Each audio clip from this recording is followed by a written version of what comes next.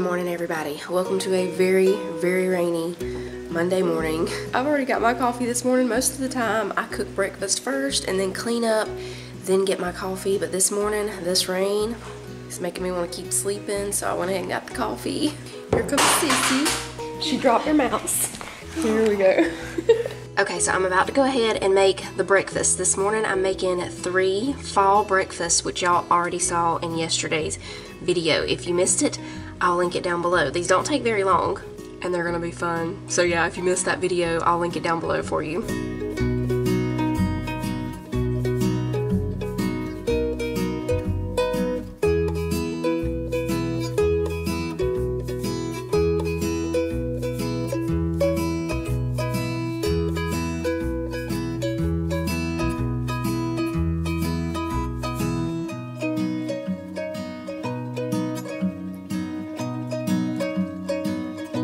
Y'all, got the kitchen cleaned up. Everybody started on their schoolwork now. Manly's playing quietly. He's almost ready for his nap, I think, already this morning. The rain, it's, it does it to everybody. It makes you sleepy. It's finally slowing down a little bit. I mean, it's still a little drizzle going on, but definitely not what it was doing earlier. But it is the perfect day for chili. That's what we're about to make. So I'm just defrosting the ground beef real quick. I have about a little over two pounds in there. While it's defrosting, I'm gonna go ahead and get everything ready. We're gonna need an onion, some bell peppers, and garlic, but I got this minced garlic for this, so I already have that. You know what I should have done? I should have gotten like a little basket and just put all the chili stuff in the basket so that I could have just pulled this out. Dark red kidney beans, tomato sauce, stewed tomatoes, tomato sauce. I need two cans of that, and the Rotel, I think is the last thing I need from down here. Oh, there's the Rotel. Yeah, I think that's it because I ordered like chili beans and they gave me this chili with no beans. It was like complete opposite of what I needed. So that's okay. We'll just go with the one can of kidney beans because we don't love for there to be a lot of beans in the chili anyway. So one can will be fine.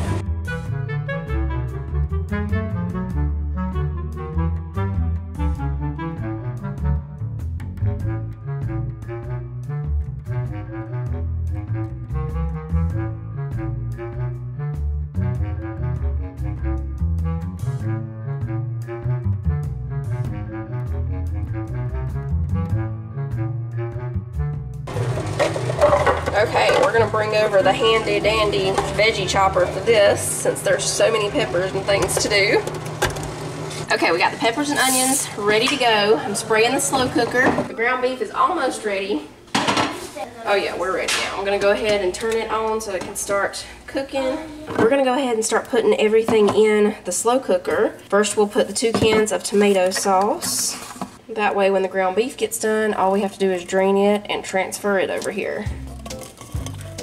Now the can of stewed tomatoes. And the kidney beans, we're gonna drain these. Okay, and then the rotel. The peppers and onions. And this packet of McCormick mild chili seasoning. Okay, what else? The last thing I think we need, oh yeah, we gotta do the celery and the garlic. So we have two more things here. One tablespoon of the minced garlic. I already got my chopper thing in the sink. I wished I would remembered the celery while I had it out. It's okay, this won't take long. We just need two ribs of celery. All right, there we go. Now that is it until the ground beef is done. Then we just drain it and put it over here and it's gonna cook on high for four to six hours, probably around six or seven. It's gonna be in here, it's gonna be in here for at least seven hours. So if I see that I need to turn it down to low later on, I will. And I also have another can of tomato sauce. If I need to add that in or some more diced tomatoes or something because since I don't have the beans in here because the other can of beans you weren't supposed to drain I might even just add just a little water if I need to because you know there would have been a little liquid mixed in with those beans but we're missing that. It smells like Wendy's chili already. I'm gonna go ahead and turn the slow cooker on high. That way it can already be warming up over here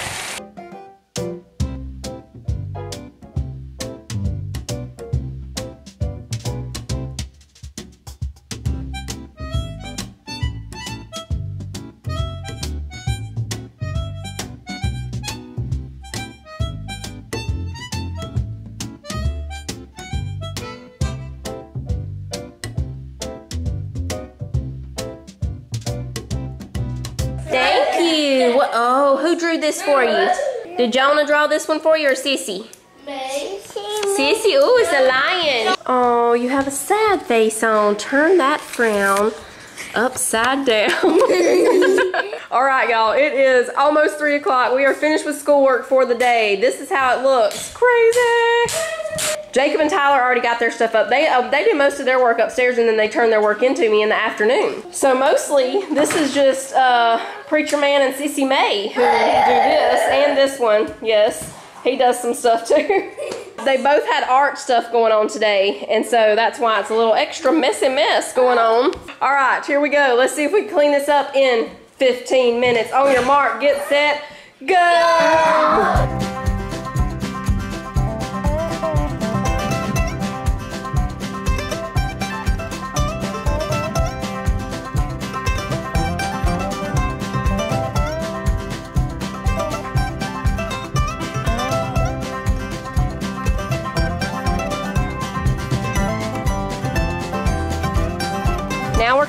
Out to let the chickens out. It's not raining at the moment.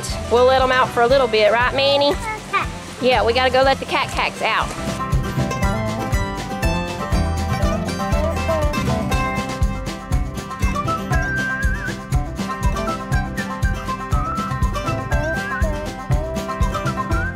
So the rain brought us back inside again, but I went ahead and turned the chili down now to low.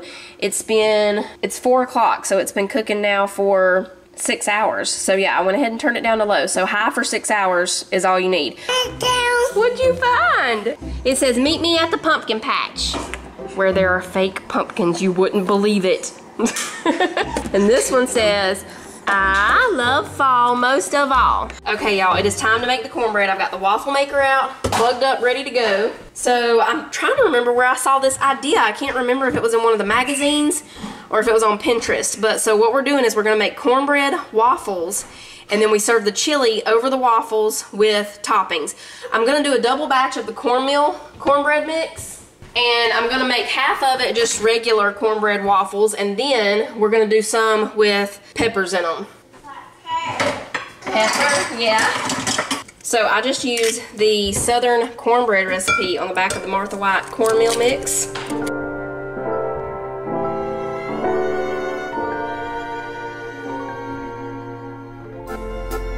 That's it. When Cece gets that mixed, we'll go ahead and put the first ones on the waffle maker. Not sure how cornbread does in here, so I'm gonna start with just a little bit. We'll see what happens. Oh, it's doing good. Okay, I'll wait for the green light. I was smelling it, so I didn't know if it might be getting done, but we'll wait for the green light. I think I'm gonna do eight regular. I think I can get eight regular, and then we'll do the rest with the peppers. That should be at least four to six more with peppers.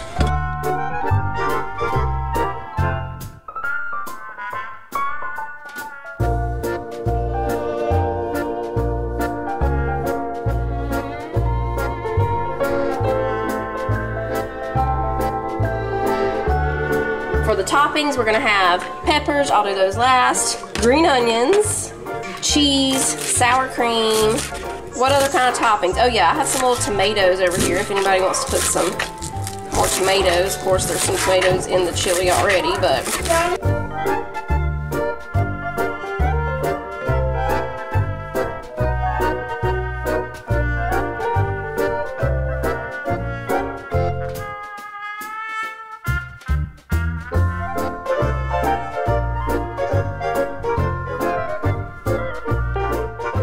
I may have um, misjudged the need to make two batches of the cornbread. That's okay. We have lots of leftover cornbread waffles. We do have a little bit of chili left. It's better than Wendy's. So good. How much water did we have to add? About a cup?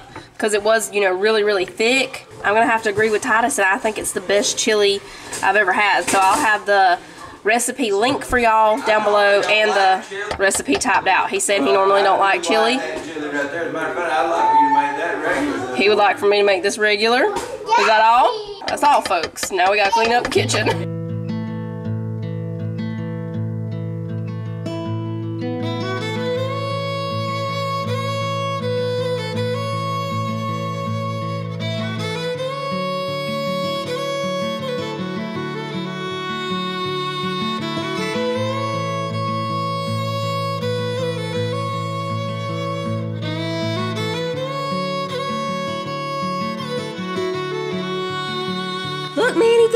Pumpkin patch. What? Look. Yeah, Punk. Do you want to go to the pumpkin patch? See pop. You'll see Punk? There's not any pumpkins in that book. he calls pumpkins punks. Now it's time for the going to bed book. The sun has set not long ago.